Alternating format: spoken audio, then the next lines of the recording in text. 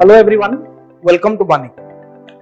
Recently on 23rd July 2021, Odisha Subordinate Staff Selection Commission has invited online application for 529 district cadre post of statistical field surveyor which is a group C post and it will be of contractual basis.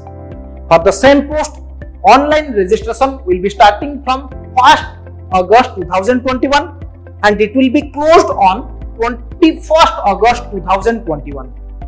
For more details, the interested candidates may visit www.osssc.gov.in and for the same course, Vanik is providing regular classroom course, online live course, online recorded course, study materials, publication books, online test series, online test and live discussion, offline test series and discussions.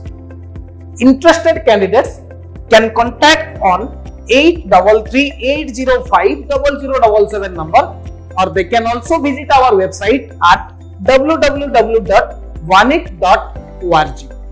Thank you.